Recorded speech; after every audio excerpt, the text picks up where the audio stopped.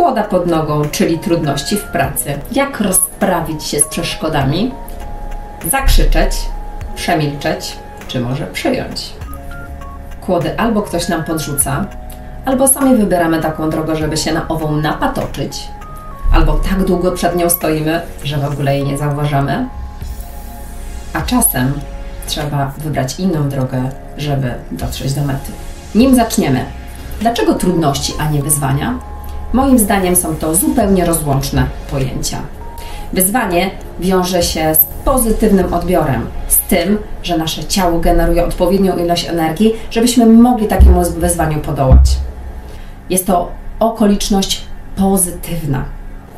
Trudność ma inną specyfikę. Wiąże się z wysiłkiem, którego raczej nie chcemy podjąć, więc mamy niską motywację do tego, żeby zmierzyć się z trudnością. Wiąże się z sytuacjami losowymi, na które nie mamy wpływu lub nie mamy świadomości, że w ogóle taka trudność jest. Po prostu stoimy w miejscu i nie jesteśmy w stanie posunąć się dalej. Czyli nie potrafimy nazwać nawet czasem trudności. To, co łączy wyzwanie i trudność, to rozwój, który następuje, kiedy realizujemy wyzwanie czy mierzymy się z trudnościami. To jest specyficzna zmiana, którą widzimy często dopiero po zrealizowaniu wyzwania lub zmierzenia się z trudnością. Dlaczego warto mówić o trudnościach, nie o wyzwaniach? Dlatego, żeby nie bagatelizować trudności, z jakimi mierzą się ludzie. Dlatego, żeby nie sprowadzać wszystkiego, co nas otacza, do pozytywnych kontekstów, bo są różne odcienie szarości. Podzieliłam trudności na trzy obszary, w których występują. Pierwszy obszar to współpracownicy i pracownicy, relacje pionowe i poziome. Ludzie, z którymi współpracujemy i za pracę, których odpowiadamy. Na tym polu mogą powstać różnego rodzaju trudności. Na przykład Twój pracownik, za którego pracę odpowiadasz, cyklicznie zwalnia się z pracy, a Ty musisz wykonać jego pracę. Co czujesz w związku z tą sytuacją? Jakie emocje się pojawiają? Jakie potrzeby są niezaspokojone przez tą sytuację? Im lepiej zbadasz tą sprawę, tym lepiej poradzisz sobie z trudnościami. Dajmy na to, tutaj może pojawić się złość, ale też niezaspokojona potrzeba zauważenia przez inną osobę. To, że masz ograniczony czas pracy, to, że potrzebujesz uwagi na to, żeby wykonać swoje zadania, ale też tej drugiej osoby. Jeśli już nazwiesz emocje, zobaczysz, jakie potrzeby są niezaspokojone przez tą sytuację, sprawdź, jakie myśli pojawiają się odnośnie tej osoby i tej sytuacji. Uporządkuj te dwie przestrzenie i oddziel sytuację od osoby, bo to nie jest przecież to samo. I teraz, czy chcesz coś z tym zrobić? Jeśli nie, to okej, daj sobie na to przyzwolenie. Ktoś może nie naruszył w taki sposób Twoich granic, żebyś miał interweniować być może zobaczyłeś, jakie koszty jakie zyski są w związku z działaniem w tej sytuacji i stwierdziłeś, że lepiej dla Ciebie, korzystniej dla Ciebie będzie nie działać w tej sytuacji. A jeśli chcesz działać, to co możesz, chcesz zrobić? Co przybliży Ciebie do pokonania tej trudności? Czy nieodzywanie się do koleżanki, puszczenie focha lub danie jej do zrozumienia, że to, co robi, jest niewłaściwe według ciebie, przybliży ciebie do tego, żeby pokonać trudność? Czy może lepiej faktycznie powiedzieć jej, zakomunikować, z czym się mierzysz w związku z tą sytuacją? Dokładnie opisać sytuację i powiedzieć, czego oczekiwałbyś w związku z jej działaniem na przyszłość i co to przyniesie dla ciebie. Posłużę się przykładem, żeby lepiej zobrazować Tobie, e, jak to ma działać. Byłam zdenerwowana, kiedy wczoraj wcześniej wyszłaś do domu. Nie wiedziałam o tym, że masz taki zamiar. Musiałam wykonać Twoją pracę. Chciałabym, żebyś tak często nie wychodziła, a jeżeli będziesz musiała, to żebyś to skonsultowała ze mną. Wpłynie to na Twoją pracę i na jakość mojej pracy. Z góry dziękuję. Drugi obszar my sami. Czasem świetnie podkładamy sobie sami kłody pod nogi.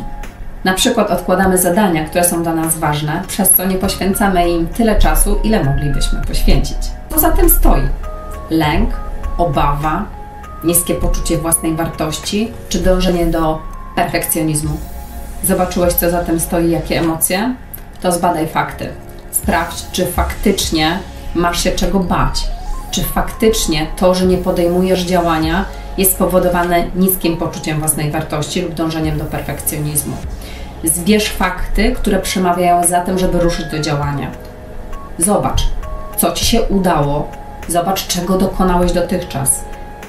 Zbuduj sobie taką ścianę, o którą się będziesz mógł oprzeć, kiedy znowu się zawahasz przed kolejnym krokiem. Dzięki temu zobaczysz, jakie masz zasoby. Zobaczysz, jakie masz umiejętności, jaką masz wiedzę, ale też czego nie potrafisz i kogo będziesz musiał poprosić o pomoc i na kim się wesprzeć. Sprawdź też, co się stanie, jeśli podejmiesz działanie i sprawdź, co się stanie, jeśli działania nie podejmiesz. Niektórych motywuje marchewka, a niektórych bat. A jeśli już zbadałeś poziom trudności i zobaczyłeś, że to tak naprawdę Ciebie nudzi, albo nie jest dla Ciebie rozwojowe, albo ktoś inny mógłby to wykonać lepiej, to wydeleguj to zadanie. Oddaj je. Trzeci obszar. Przełożeni, firma, kontrahenci, klienci. Kluczowym pytaniem jest, na co mam wpływ. Na przykład, kilka lat forsujesz rozwiązanie, które w firmach w branży super działa. E, przynosi tym firmom 10% wzrostu sprzedaży rok do roku, ale Twój przełożony nie chce tego słuchać. Nie rozmawia na ten temat, nie dyskutuje na ten temat, po prostu ucina go. I teraz zobacz, czego dokonałeś. Ile zgromadziłeś argumentów? Jakie działanie przedsięwziąłeś do tego, żeby przeskoczyć, pokonać trudność, a dalej doceń siebie za to, za wszystkie wysiłki, działania, pomysły, za wszystko, co się zadziało po Twojej stronie, aby pokonać tą trudność. Bo przecież na swoim polu wykonałeś już wszystkie ruchy taktyczne, żeby przerzucić piłkę na drugą stronę, ale ona jest już po drugiej stronie. Już nie masz wpływu na to, co się z nią stanie. Jednocześnie zawsze na coś mamy wpływ, i te działania możemy wypunktować i za nie się docenić, bo działamy w obszarze swojego własnego wpływu.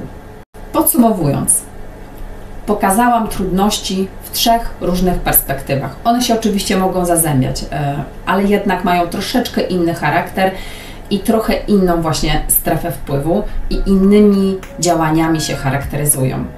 Mam nadzieję, że wyciągniecie coś dla siebie, Będę bardzo zadowolona, jeśli pokusicie się o komentarz do tego filmu. Jakie trudności Wy macie w pracy i jak sobie z nimi radzicie? E, czy te pomysły, które Wam pokazałam, są do zrealizowania u Was? Dziękuję za dziś. Poproszę o lajki, które karmią moje serce. Poproszę o suby, które dają mi power do działania. I widzimy się oczywiście za tydzień z brakiem świadomości odnośnie e, za dużo mówię i trzeba uciąć. Są to relacje równoległe i prostopadłe i poziome i, i różnego typu i rondo. Warto jest pamiętać, że właśnie trudność, nie pamiętam co miałam powiedzieć, ale zaraz dalej, że i będę wiedzieć. Zaraz.